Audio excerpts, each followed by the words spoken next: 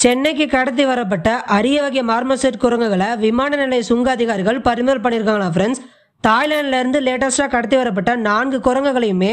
கடத்தி வந்த சென்னை சேர்ந்த நபருடைய சொந்த செலவிலேயே சுங்க அலுவலர்கள் திருப்பி அனுப்பிச்சிருக்காங்க அப்படின்லாம் செய்திகள் வந்திருக்கு ஃப்ரெண்ட்ஸ் அழியும் ஆபத்தில் இருக்கக்கூடிய அரிய வகை உயிரினமான மார்மோசெட் குரங்கள் பார்த்தீங்கன்னா தென்னாப்பிரிக்க வனப்பகுதியில் பார்க்க முடியும் அப்படின்னு சொல்கிறாங்க ஃப்ரெண்ட்ஸ் ஸோ இந்த மாதிரியான சுவாரஸ்யமான தகவல் தெரிஞ்சுக்க நம்ம சேனலை சப்ஸ்கிரைப் பண்ணி சப்போர்ட் பண்ணுங்கள் ஃப்ரெண்ட்ஸ்